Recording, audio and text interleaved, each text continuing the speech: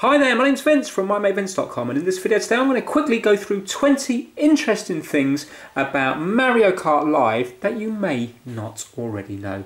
Let's get straight into it. As the late great Colin Chapman from Lotus once said, adding power makes you faster on the straights, subtracting weight makes you faster everywhere. So who's the lighter out of the two? If we have a look at Mario with his big head, he comes in at 306. And if we have a look at Luigi with his very skinny head, he comes in at 303. So 3 grams difference, 1% overall. And that 1% might make a difference when it comes to the competitive world of Mario Kart Live. So we all know the carts can recognise the different gates. So the gates come in four different colours. We have black, yellow, blue and also green. And if you have a look here on the screen, you can see that the cart is recognising that this is gate number four, and it's recognising it correctly. Now I thought this may be done by colour, but it did make me wonder why it has to be a certain way round, because it tells you in the instructions that it has to be facing that way. If it's facing that way, it's not going to work, and you can see it hasn't recognised it as gate number four. But what's interesting is this is not done by colour. This is actually recognising not just a number, but a combination of the picture and the number. So right now you can see that it's recognised it as number 4. Yet if I was to get a little bit of paper and just block up the 4 like so, you can see that it no longer recognises it. If I was to take that bit of paper off and just block up part of the picture, again you can see that it's not recognised. But yet when we take it off, it's recognised straight away.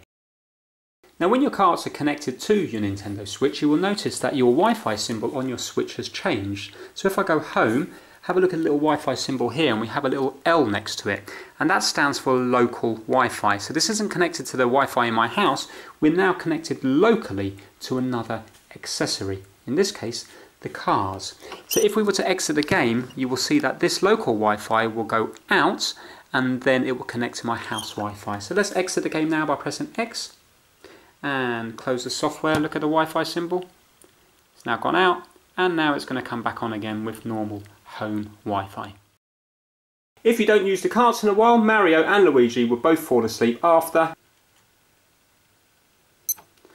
There you go, just under five minutes. And there he is snoozing away for himself. Now let's show you that with Luigi.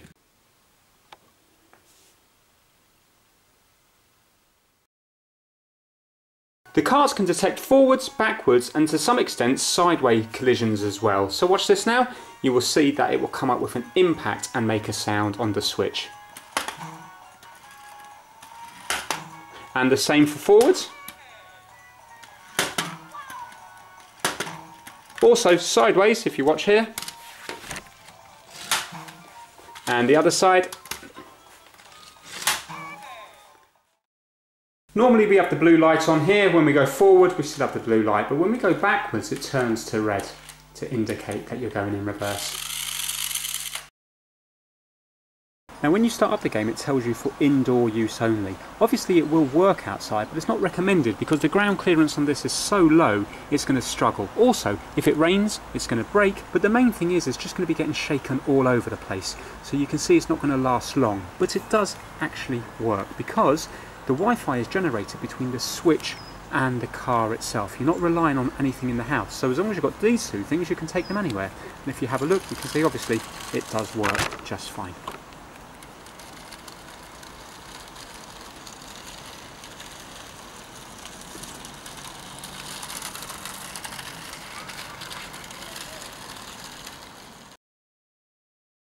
And talking about going over bumps, when you do, Mario will recognise that he's going over bumps and you'll see him come out of his seat and sometimes he'll make a noise as well. So let's put the volume up.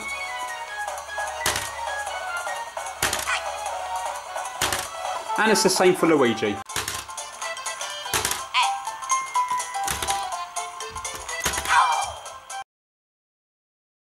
And the batteries are replaceable. So if you undo the six screws at the bottom here which are little crosshead screws take that out there. You can see the battery is a HAC 038 3.7 volts 1750 milliamp hours.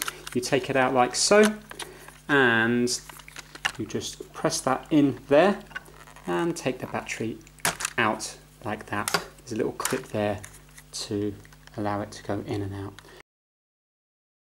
Now when you scan your cart into the Nintendo Switch you have to do it via a QR code. What happens if you use your phone to scan the QR code? And let's do that there and it says here tap here to see the text in notes. And that's it. Unfortunately not much. I've also tried to put the car into pairing mode and see if my phone will connect to it via Wi-Fi, which it doesn't. I've also just had a little look on Bluetooth to see if anything comes up and it doesn't either. The carts come with a safety cutout to stop the motor from undergoing too much strain. So I'm going to simulate that by just using my fingers here and you will see now, driving against it, I can still feel it and there we go, you can see it just gives back a little bit and that's where it cuts off. Then you'd have to let go of the accelerator and go on again. So let's do that again. Forward, still going, still going, and stop. And now look, I've got my finger on it, but it's not going anywhere. Let go, back on again, it starts working. Exactly the same in reverse as well. Let's just hold on to the wheel here. So in reverse is trying to go now, the red light's on at the back, and there, it's given up. And you can see now, I'd have to let go and go on it again to make it work.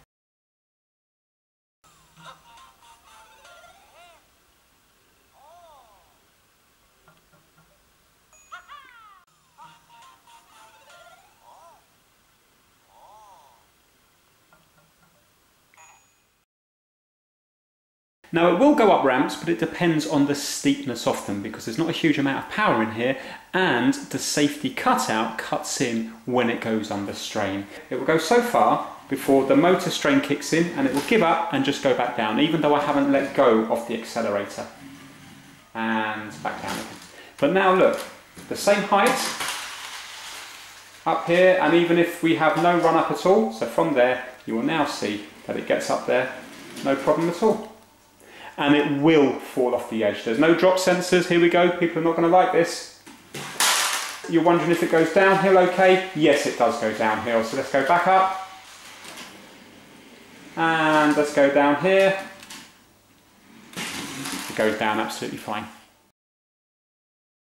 Now for those of you wondering if the ramps will be recognised by the game, unfortunately not, it's still just down as a flat circuit which is to be expected. So have a look here, so we're off. Let's put a bit of volume up. So we're going up the ramp now. We're at the top of the ramp. And you can see it's just kind of in midair there.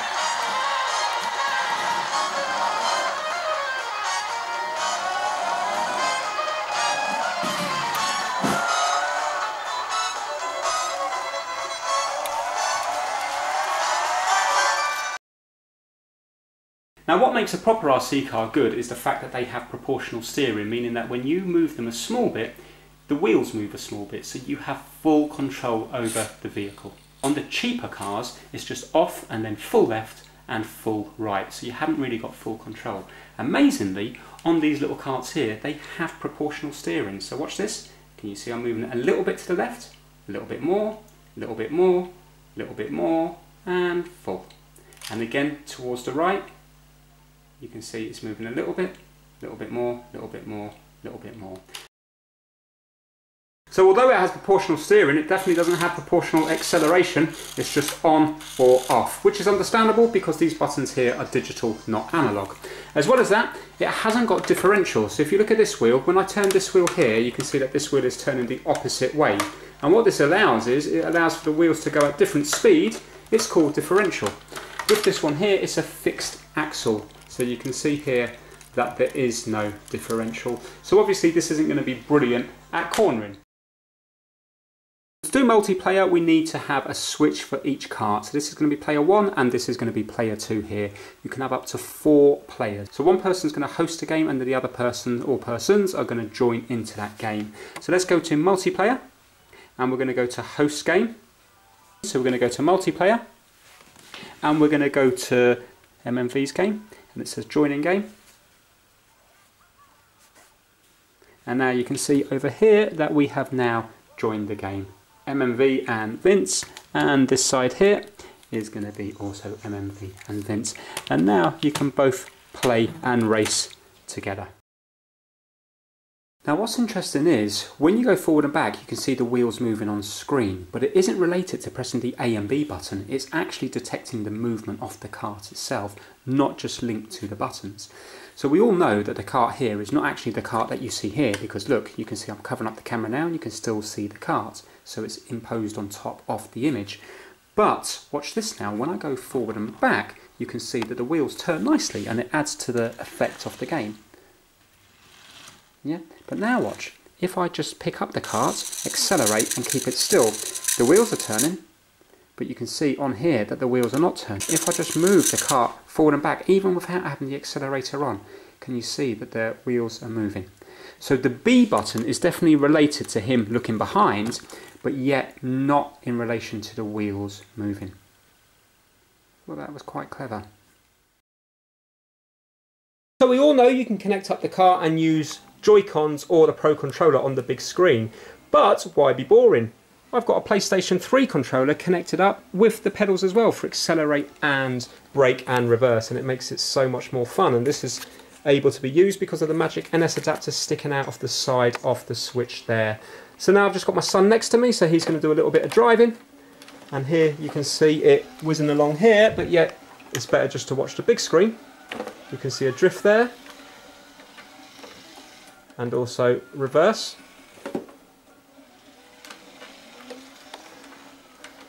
And it just makes it much more enjoyable when you're using it with the steering wheel.